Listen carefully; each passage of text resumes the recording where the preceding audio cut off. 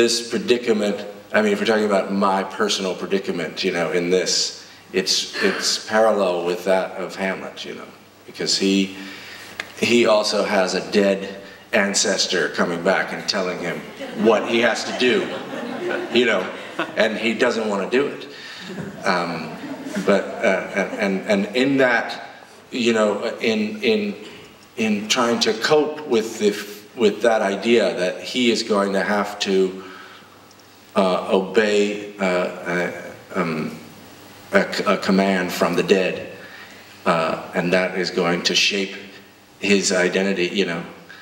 Uh, he's not going to become what he thought he was. Uh, I don't know. That's, that's where I think I live in this, you know. We have Um, just thank you very much for the performance. It was wonderful.